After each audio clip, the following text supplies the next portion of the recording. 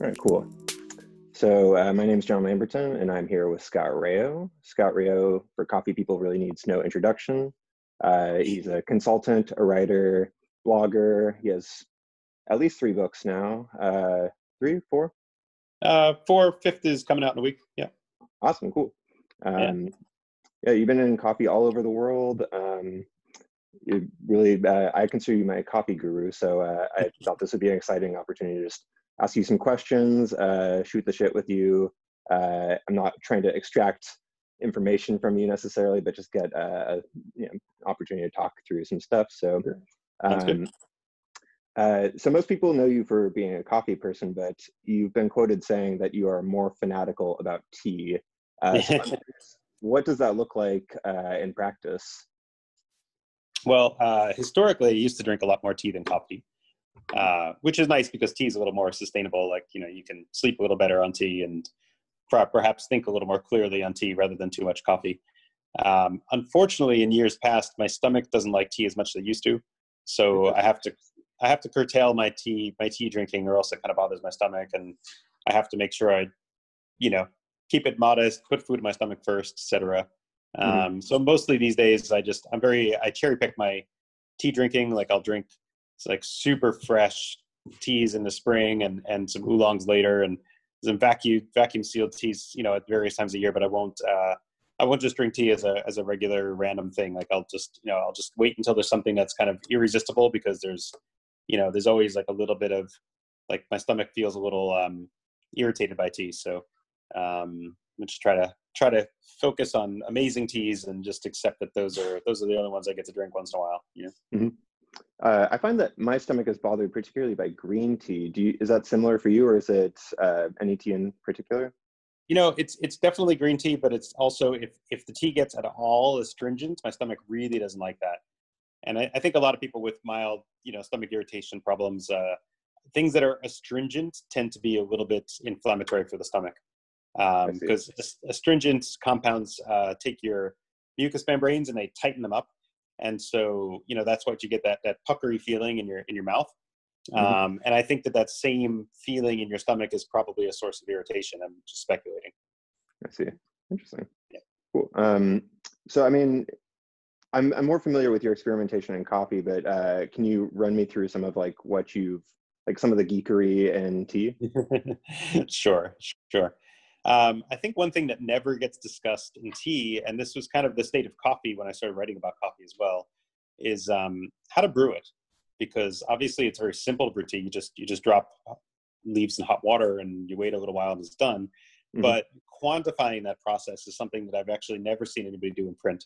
So mm-hmm. for me, I've calculated things like, you know, what's the right time temperature ratio combination for various teas but also figured out things like if you double the amount of leaves or else into water, you actually cut your steeping time by four, like you know, basically by by a quarter. You know, so mm. I, I, should say like if it takes a minute to brew X amount of leaves and water, it takes 15 seconds to brew 2x leaves in the same amount of water. Um, so one of those things, you know, when you see instructions that are like, oh, steep this tea for three minutes, and then they tell you nothing about weight to weight ratio, it, it's a nonsense number because you can't know the time without knowing the ratio and the totally. So things like that, you know, uh, just the same. It's the same approach that we all take to coffee in terms of, you know, we we care about time, we care about fineness of grind, we care about that combination, how they affect each other. And with tea, uh, people aren't really thinking of ratio, leaf size, and time as a, as a threesome that have to be considered together. Interesting. So, uh, in terms of tools, besides like a scale, uh, your palate, a timer, potentially a refractometer? Uh, how are you like going about quantifying this? Uh, I mean, of course, the thermometer is important as well. Oh, gotcha. Um, refractometers, like the ones we use for coffee, don't work so well for tea because mm-hmm. the range of total dissolved solids or strength in tea is is really quite low. Right. So I, I have a special refractometer that's pretty sensitive that will give me some data for tea, but most of us that have typical Brix meters or coffee refractometers, the, the numbers are too low in the scale to really be useful. Interesting. Um, so is that refractometer like just recalibrated? Is it like similar to the VST one, or is it uh, like it's, what's that process like? Uh, it was made by VST. Well, it was it was licensed by VST, and it was a, a more uh, it had more decimal places than most uh, refractometers do. so so it's going down to much lower refractive indexes and lower TDS uh, readings. Interesting. I assume that extra granularity wouldn't offer any. I mean, that wouldn't really be helpful for coffee, right? Wouldn't be very useful. No. Gotcha. Okay. Yeah. Cool. Um, so in terms of teas, uh, like I was thinking back to this uh, tasting I was at with uh, Peter from Song, and mm-hmm. he had all these interesting teas. And I was just curious if you were to curate like a, a tasting for somebody like me, uh, what would that like? What would a selection look like? Um, you know, it depends on a couple things. If you just said uh, pick the teas you like, unfortunately for you, all of the teas I love are Japanese. Um, but if you said pick a range, let's let's say that maybe you should make up the cafe's menu, we might be talking about some Japanese greens, some Chinese green and white, and oolong and black, and maybe one Indian tea. Um, I think one of the things that most tea drinkers don't focus on is things like how fresh was the tea, and is is it uh, like an early spring pl- spring pluck? Is it a late spring pluck? Um, the quality of leaves in early spring is it's the flavor is more delicate. The leaves are more delicate. It's it's um, there's more there's more buds that create um, that delicate flavor, and then you get like uh, bolder leaves and bolder flavors later in the in the harvest. Um, so really, you know, you can't just say like, oh, I'm just gonna drink this green tea. It's like, you know, is it all buds? Is it two leaves in a bud? Is it one leaf, one bud? Is it you know all leaves and and you know what quality level is it? Even if it's called something like dragonwell which is quite famous i mean there's probably a thousand iterations of quality within the dragonwell spectrum. And mm-hmm. so you know unlike i shouldn't say unlike coffee but coffee's got a little more transparency now as far as the wording that's on the bag and, and how it teaches you a bit about quality.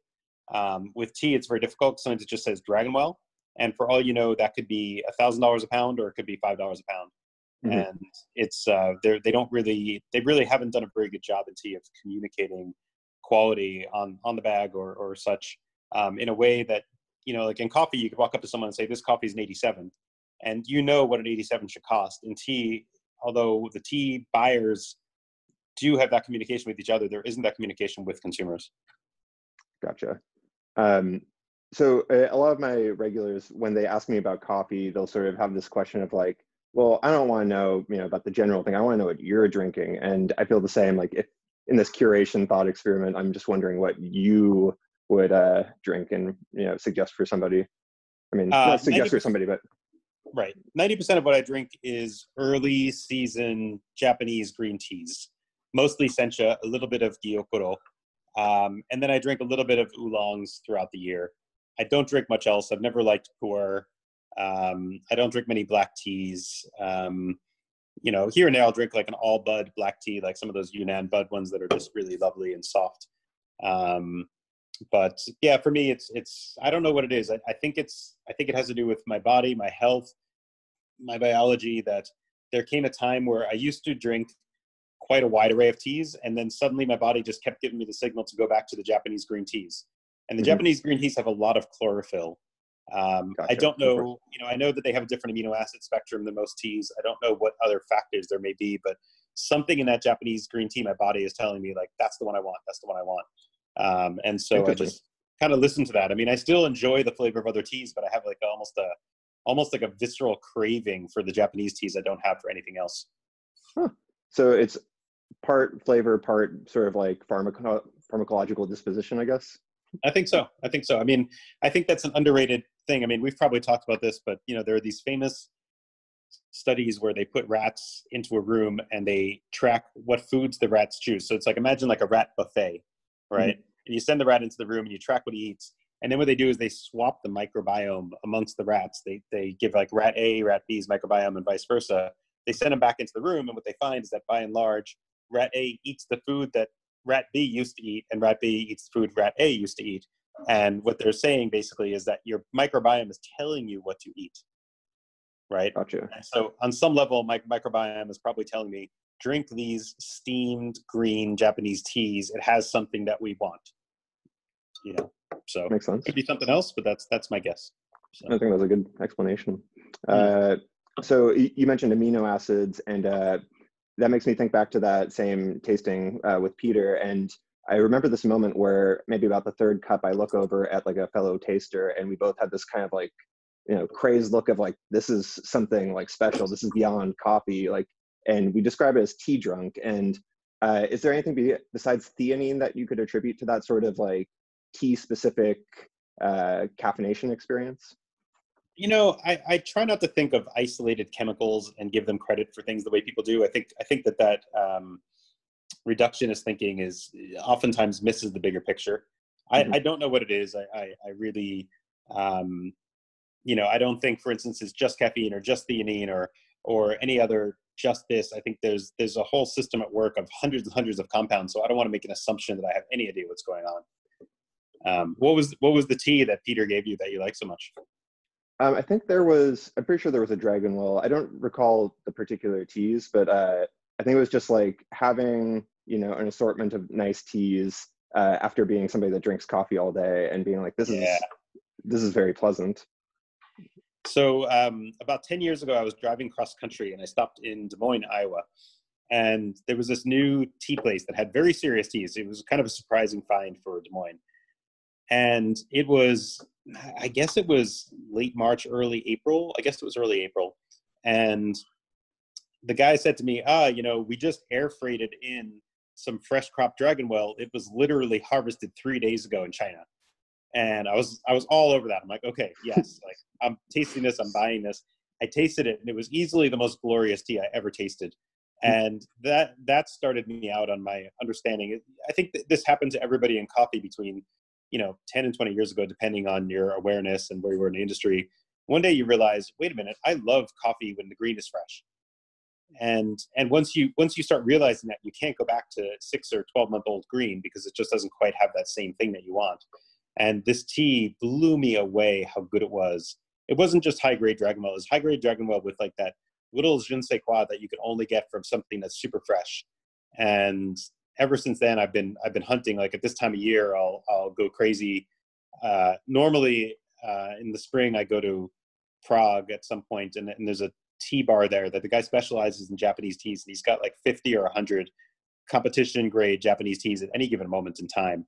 And uh, you know, I'll walk in once a year and he'll be like, "Hey, Scott," and you know, he totally remembers me, and he'll just lay out like a tasting of 20 Japanese teas for me, and I'll just wait until that moment to buy all my teas for the next few months because I know he has extraordinary teas, and I know that he's going to let me taste like 20 of them, and mm-hmm. uh, it's awesome. But it's just you know, this year obviously because of COVID, I won't be doing that, but uh, that's always a treat. Mm-hmm. Um, now, am I just oblivious to the the you know awesome tea scene in the U.S., or is there not really an awesome tea scene? it's pretty isolated. I feel like in every city there's one or two places and there's a handful of people who care, but we've we've never got the kind of traction with tea that we got with coffee.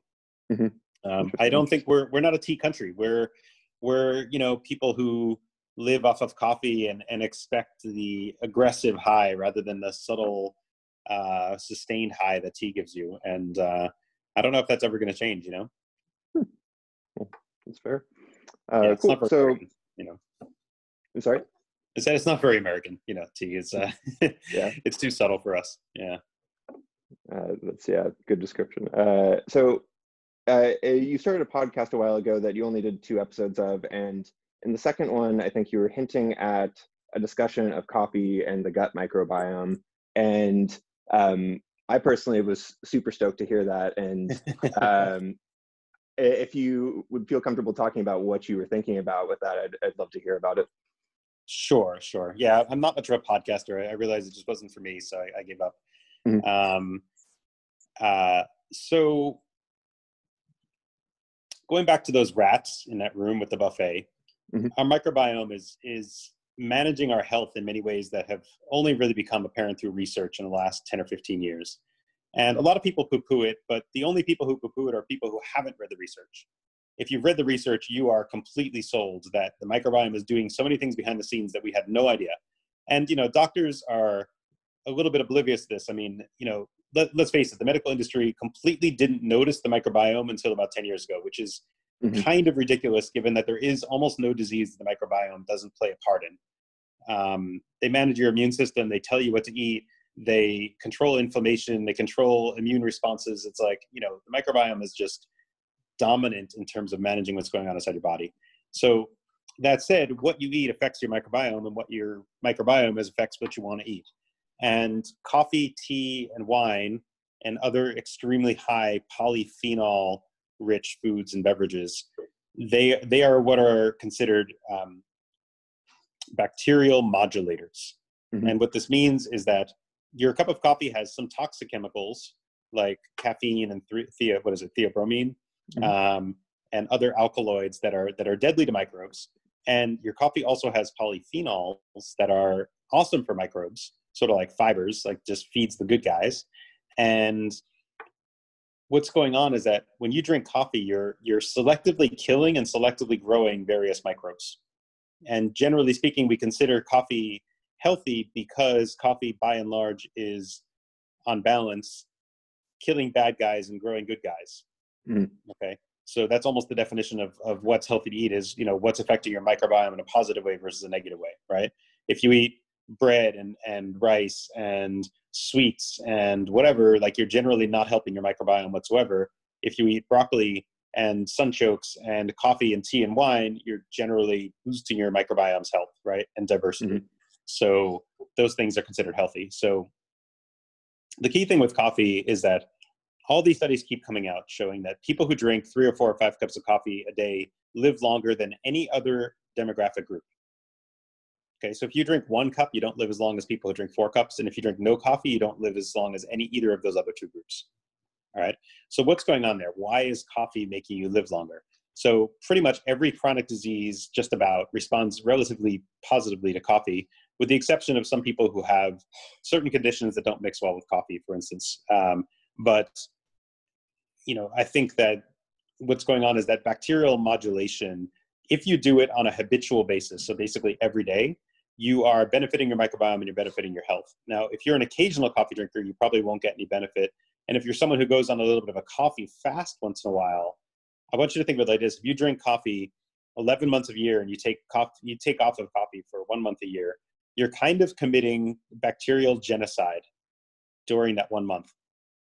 Okay, it's a little bit like if you decided to just stop eating fiber for a month, or if you just decided to fast mm-hmm. for a while, you're devastating your microbiome temporarily, and then it takes a while to grow it back. So the best thing you could possibly do for your health, strangely enough, in, in my mind, I'm not a health expert. I'm just, this is like my own speculative theory, is pick what's sustainable for you and do it consistently.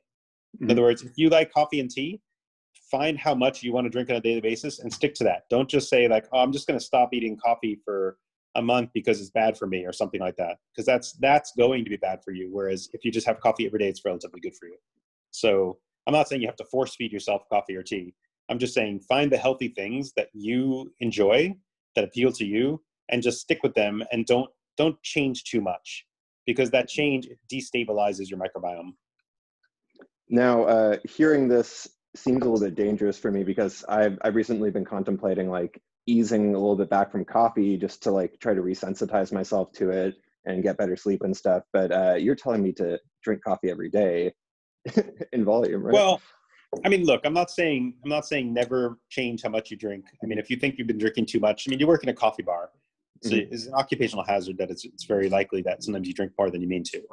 Um, but if you can get yourself in the range of drinking two, three, four cups a day, and and still sleep well, then staying consistent is also going to help your sleep because if you drink two cups every day and then one day you drink four cups, it's going to mess up your sleep, mm-hmm. right? And if you drink four cups every day and then one day you drink two cups, you're going to drag all day. So if you just say, what's my magic number? Is it two cups, three cups, four cups? And if you try to do that relatively consistently, that's probably good for your microbiome and it's probably good for your daily cycle of, of alertness and sleep and, and all that kind of thing. Gotcha. Now, uh, thinking back to that podcast, if I recall correctly, there might have been like a regional element to it and sort of like a parallel roast element, like maybe like, you know, these places roast darker and have this kind of dietary preference. Um, mm. Is there something to that? There, there is. It's, this is all very speculative. There's not really very good research on this. I would say there, there was a bunch of research going on for a little while. I don't know what happened because it seemed to go quiet, where they were comparing light roast and dark roast and trying to figure out which had the more beneficial polyphenol profile. Now, unfortunately, most of the people doing the research were people who had a product sell. Mm-hmm. And so I think their research was always kind of like if they found something that didn't jive with their product's marketing. They just never published it. And if they found little snippets of research that helped their product, then they released it. And I think so. We were getting kind of a um, a distorted sense of the truth. Um, I think that light roast coffees and dark roast coffees, the the quantity of polyphenols in the two is probably not very different. It's probably slightly higher in lighter roasts.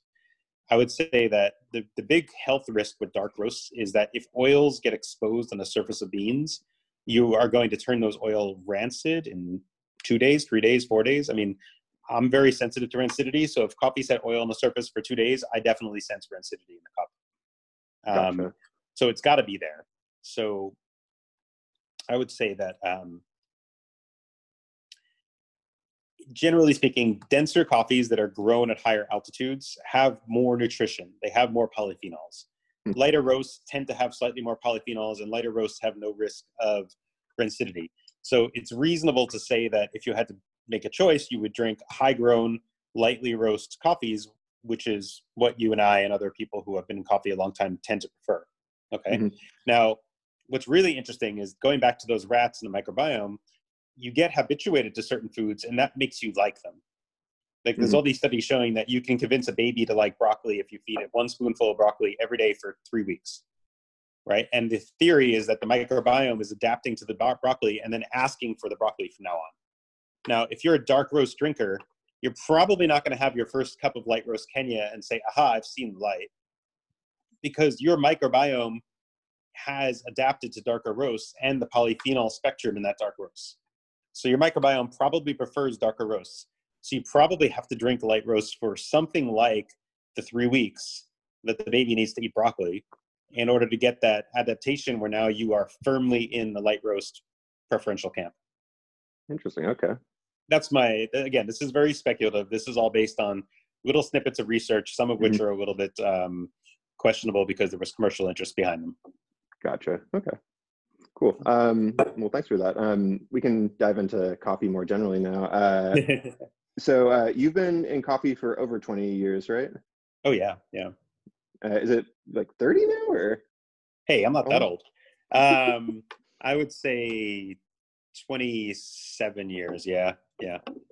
Cool. Um, can you give us a sort of like uh, perspectival montage of that career? Oh, yeah, yeah. I mean, in the beginning, I got into coffee shops, but not coffee because the the I went to UCLA, and on campus there's a coffee house called Kerckhoff. It's just a really lovely place with these stained glass windows, and it used to be that people used to smoke there, and there were poetry readings. It was that kind of place. Mhm. and um, I didn't like my living situation too much my second year of college, so I spent all my time at the coffee house. Now, the coffee was pretty much all hazelnut, or even if it didn't say hazelnut, it tasted like hazelnut, if you know what I mean. Mm. And it was disgusting. The coffee was horrific. um, but that was that was the state of coffee at the time. Then down the street, this company opened called City Bean, and one of the owners' names was James. And James and I became good friends. And James was the roaster, and he was really dedicated to making great coffee. And to me, he was probably the best roaster in the country at the time. Is this Um, James Marcotte? Yes. Yes. So, little known fact about James, who's now a, a salesman for for Intelli until recently. Um, Mhm. James James is really a kick-ass coffee roaster for a long time. Um, so James got me into good coffee, and that was one of the few places you can go and you can get like a high quality, single origin, well made cup of coffee.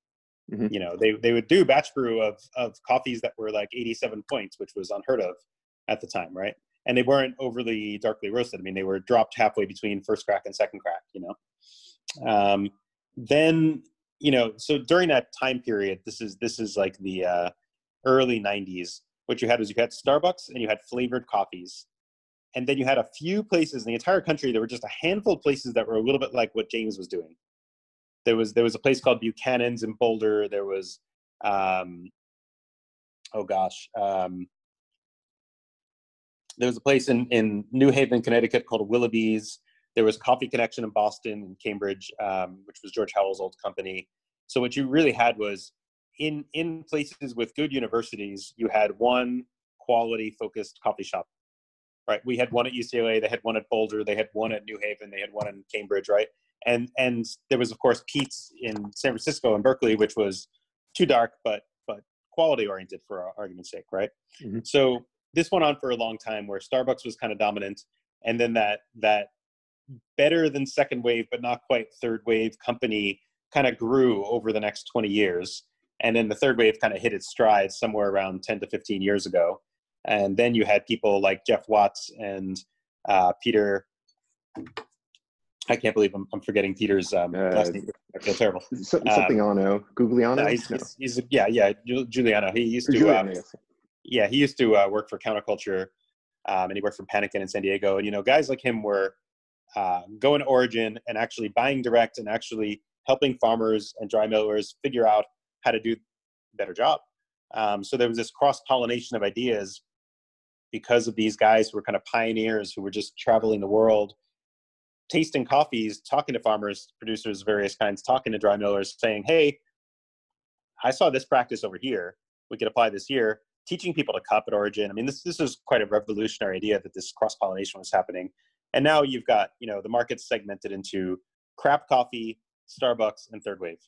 Mm-hmm. right mm-hmm. and you know it, that was that was an evolution that took you know 25 years basically from the time of companies like city bean to the time of companies like go get 'em tiger or G&B now um, and you know i watched this transition i mean you know when i opened my first shop in 1994 i didn't roast a second crack but i wasn't a light first crack roaster i was somewhere in between and so was george howell he may not remember but george used to tell me that i should roast just until almost before second crack.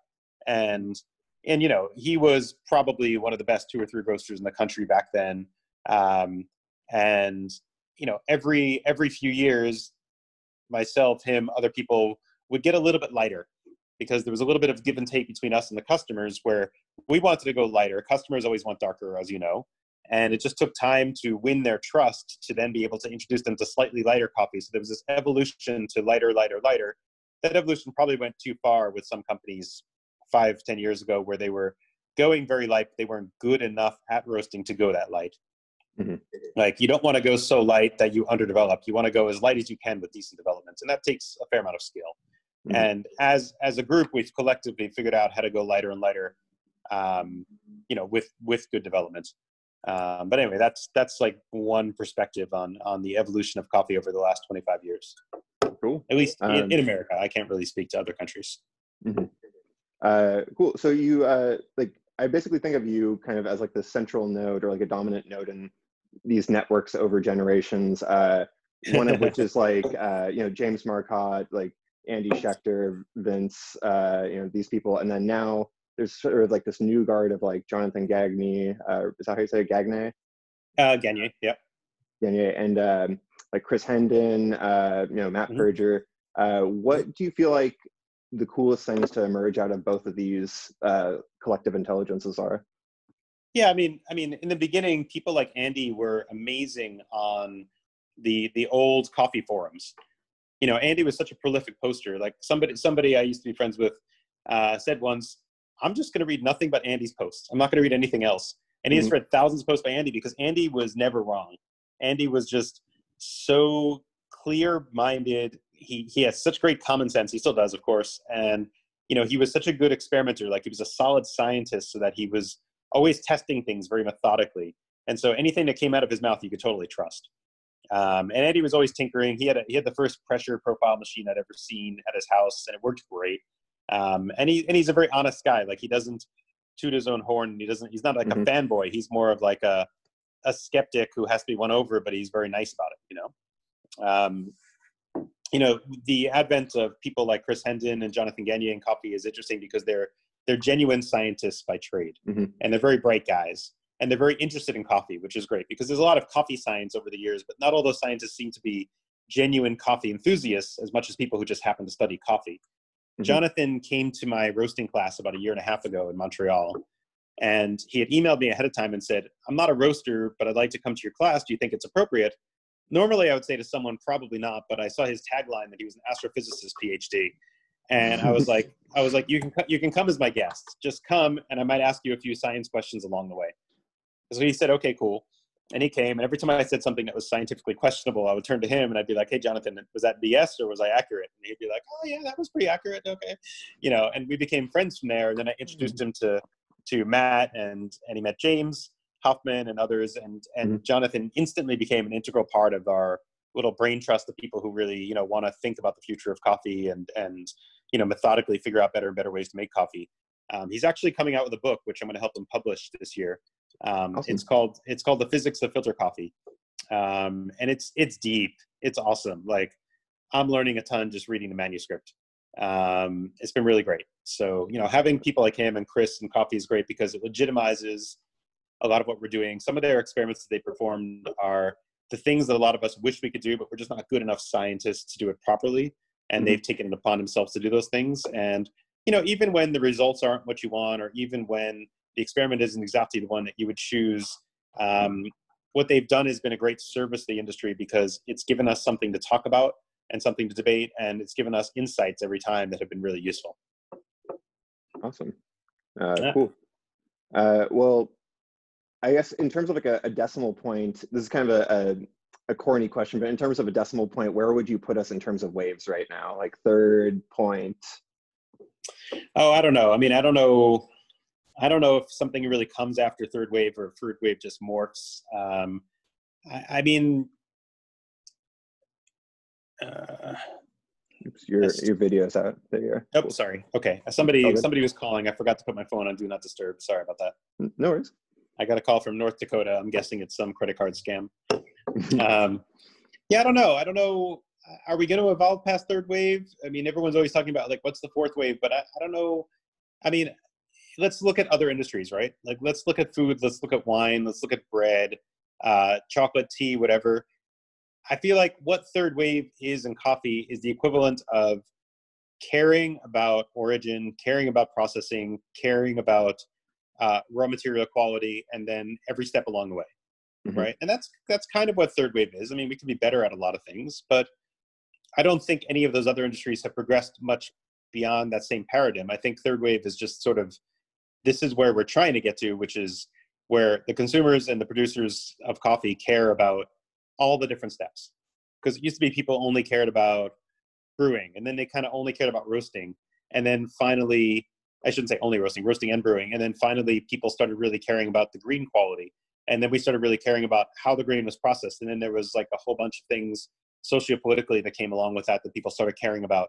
So I feel like now we're at a point where many of us care about the entire um, uh, vertically integrated chain, chain, if you will, of like where coffee came from and how it got to us. And we're trying to be conscious of every step and, and do a good job with every step. And that's you know that's kind of what third wave is and i'm not i'm not really convinced that there's a fourth wave coming gotcha okay um uh, so uh, a while ago you did yes or no by Rao and i've been known to send you uh, very unfocused sort of shitty questions and i think that i learned from you more so than anybody uh, how to make your questions more narrow and more effective uh, can you speak on uh, formulating good questions Well, sure. One of the things that I get, which is very challenging because I'm I'm not the fastest typist in the world. I mean, I type maybe 50 words a minute or something, but and it can be very frustrating to get questions that could have been phrased in a way that I could just answer with one sentence because mm-hmm. you know most of these are unsolicited questions from strangers. They're not you know they're not questions from clients they're you know 100 questions a week from completely random people on instagram saying uh, what charge temperature should i use and i'm like what the fuck? I don't know. What, you know, like I don't know yeah. what machine you have. I don't know what you're doing. I don't know what assumptions you have, right? And I think the key to asking a good question is give exactly the amount of context that the answerer needs, and then have the question lead to an answer. So I get a lot of things like, like, uh, hey, what are your thoughts on Loring's? and I'm like, really? You just want my thoughts on Loring's as if like I have a one sentence answer, or or maybe people just expect that I'm going to spend 15 minutes typing an answer to total strangers on the internet and then do that all basically and quit my job because that was that would be all I could do with my entire week if mm-hmm. that's what I did. So I, I, people aren't getting very good perspective on that. Um, so I feel like help help with context, but not too too much context. Right? Like mm-hmm. give give a paragraph. You know, your question should basically be one paragraph of context plus question plus leading to a relatively binary answer, that would be lovely. Like if you mm-hmm. if you gave some context and then asked yes or no, that would be amazing. Um, because I think people want information, but they forget that you know I'm not a public service, and James Hoffmann isn't a public service, and Matt Perger is not a public service, and all of us try in our own way to answer people's questions and take time out for people, but it's it's a burden in the sense that you know, I was at a point once where I was spending four or five hours a week answering questions to total strangers, and that's a lot of productive time lost. You yeah, know, that's absolutely. that's my that's my entire weekly exercise budget time, right? Like that's mm-hmm. that's a lot. So um, you know, I've tried to. I, that was one of the reasons I got more into Instagram. Was I figured the more information I put out there and the more I posted, and the more I funneled people into public questions, that the more I'd be answering people's questions ahead of time, and the more people uh, would be able to read the questions and answers with other people, and I'd get fewer duplicate questions. Gotcha. Yeah. Cool. Uh, so when you were, uh, I guess, like in your more developmental part of your career, and you were like, like I've heard you say that you've read every written word on Coffee. Uh, what type of uh, questions, like, can you give some, some examples of questions that you were asking and trying to experiment to answer? Okay, so just to, to clarify, uh, I said that about reading every written word on Coffee when I was talking about before I opened my first shop. I read every single book and every single magazine article I could ever find on Coffee. But obviously, with internet forums, that's an impossibility gotcha. now. Mm-hmm. Uh, okay. It's just gone way beyond any person's ability to read it all. Um, nor do I want to read the forums, quite honestly. Um, there's too much misinformation. Um, mm-hmm. uh, formulating questions and what did I ask? Um, you know, people like James and Andy, I would always ask them questions that were just very um, specific.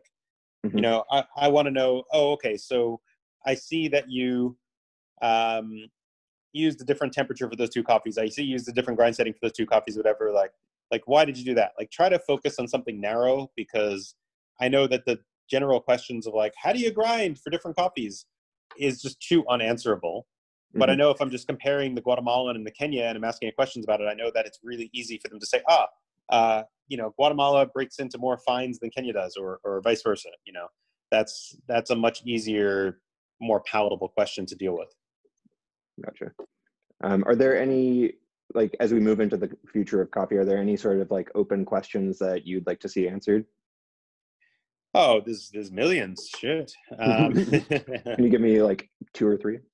Um, you know, roasting roasting is relatively unknown in the sense that um, you know of the 800 or 1000 or however many chemicals there are in roasted coffee we know very little about the reactions that are happening in the roaster mm-hmm. um, we only know some benchmarks but benchmarks are not good enough like that's that's you know again going back to the reductionist thing where people are just trying to put a couple of flags on a map and say that they see the whole map but they they really don't um, so I'd love to know more about what's going on in roasting. I'd love to know more about um, particle size distribution with grinding because we have this problem where everybody's model for coffee grounds involves relatively spherical particles, but hmm. coffee hmm. coffee grinds are not spherical at all. They're these crazy, jagged, elongated, you know, meteorite-looking things. And like Jonathan's starting to work on this now. You know, he's he's done a lot of work on particle size distribution but he also recognizes that coffee particle shapes are erratic. Um, you know, and it takes someone with a computer brain like his to figure this out. But you know, he's getting closer. He thinks he'll be able to model um, some combination of like brew times, fines generation, particle size distribution, uh, extraction level. Like, I think he's getting closer to the point where if he were to take a particle size distribution, he, he may be able to predict the behavior of a brew in terms of times and extraction and things like that, uh, which is fascinating because we're getting closer and closer to you know just like he has a he has a handheld app like you can you can put this app on your phone. You can take mm-hmm. your phone, you can take a photo of grounds, and it can tell you the particle size distribution of the grounds on a white piece of paper. Yeah, right? I've seen that. It's incredible. It's it's basically a fifty thousand dollar machine for free. Mm-hmm. right? It takes a little effort, like because you've got to take several photos and you've got to spread out the grounds properly. But if you do it right, you can get this relatively accurate answer, and he's proved that it's relatively accurate. And you know, so we're getting closer and closer to having these super, you know, handheld data collectors, and then people like him to figure out how to crunch that data and say, "Aha, this is what we're seeing." And you know, I think it'll help. Like he's he's interested in burr geometry and particle size distribution. I think all of that's been a little bit of a proprietary mystery for a long time. Like, how do you cut burrs to produce the best coffee particle size distribution? Uh, nobody really knows, other than possibly like SSP and MPE and a few other companies that do these things. They have probably some theories on this, but I think someone like Jonathan might be able to crack the code and might be able to upgrade grinder burr geometry in a way that might make our extractions jump by a couple of percent and help us reduce fines and that kind of thing. Like so, you know, these these are the types of questions that interest me, and and I'm fascinated to see someone like him working on it. Cool, cool, uh, cool. So, uh, thinking about your ebook, uh, it's probably one of the most underrated things in copy Um, and when it first came out, actually, uh, you might get a kick out of this, but I sent an email to Sprudge basically uh, reprimanding them for only doing articles about cat videos and not doing a feature on your thing. So then they did an article that was like, uh, Scott Rao's new ebook is arguably more important than cat fiction. Oh, right. uh, Thank you for that. Yeah, uh, I mean, I was just like, this is a fucking ten dollar, uh, you know, like gold mine. So uh, since then, though, you've had like you know the decent espresso machine come out, and there have been all these you know new technological uh, developments, and like you know we have like super high 28% extractions. Um, can you speak about sort of like what the this you know experimentational phase has been like?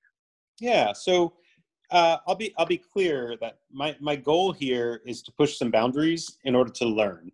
My mm-hmm. goal isn't to tell you that John, you need to drink 28% extractions. It's not mm-hmm. that. I don't even know if they're if they're all that much better than my 26% extractions or whatever.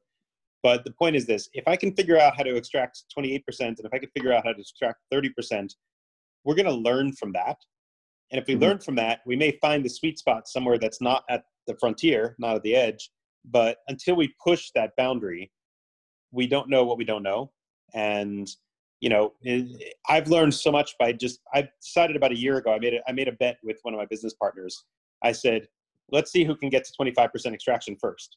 He's like, "You're on, right?" And and Jonathan Jonathan was there too, and Jonathan was like, "All right, I'm in," you know, and and so we we started working on this, and you know, eh, my my business partner he got new burrs for his EK. He got his EK realigned. He you know he started copying some of my brewing methods. Like it's great because a little bit of competition makes everybody up their game.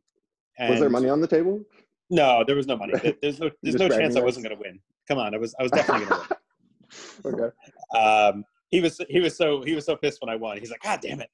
Um, but um, but now I'm up to the point where every day when I make coffee in the morning, my extractions are 24 or 25 percent with a pour over using the decent. Mm-hmm. And and I I don't think I ever broke 22 percent until a year ago. So that's a huge change. Um, I pull espresso shots every day at 26 and a half, and if I use the paper filters uh, up top and bottom, I could probably get to 28 and a half every day. Um, not to say that every one of those extremely high extraction coffees is amazing, but most of them are very good, and I'm learning by doing it. Uh, was the decent the thing that liberated you from the 22% pour over, or what? It was the combination. The it was just small changes in technique, and then getting the decent. Uh, the decent increases my extractions by about one percent over over my hand pours. Interesting. Okay. Um, yeah. So um, changing the the brand of filter that I'm using helps a little bit. Um, using the decent helps. I can get higher extractions with the Stagg than I can get with a V60. Um, you know, there's always been these little little changes that keep adding up to a couple of tenths of a percent here and there, and then boom, one day I wake up and I'm my Kenyas are over 25 percent. You know, mm-hmm. so yeah. Cool. Um, so another thing, uh, back in the day, I, I think I asked you basically kind of what is your secret sauce, and your answer was something along the lines of like, oh, I've always just been obsessive, and I, I feel like I'm also obsessive, but maybe like it's not such a boon to me as it is to you. And uh, it's like may, maybe it's like a superpower and like a super you know detriment combined to average out to like a, a slightly beneficial thing. I'm wondering mm. how you sort of regulate, tame, or like sustain your obsessiveness to be uh, helpful for you? I mean, I, I don't find it a burden. I don't find it um, unhealthy. Um, you know, I think of things like I'm not nearly as smart as someone like Jonathan, um, and I'll never be able to. I mean, the guy in one day, the guy produces more work than I can produce in a month. He's he's he's such a machine. Um, but I figured, you know, I like to find niches, right? Like when I got into writing about roasting, no one was writing about roasting.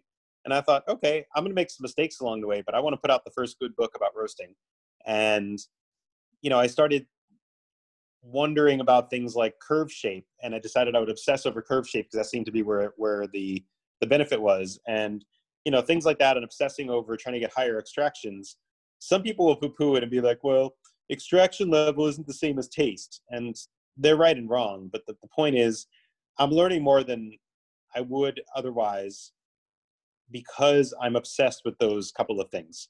Mm-hmm. And so I feel like I'll never have the breadth of knowledge that Jonathan has, and I'll never be as productive as someone like him. And I'll never be, I mean, Matt also, like Matt's brain works on so many levels that mine doesn't work at.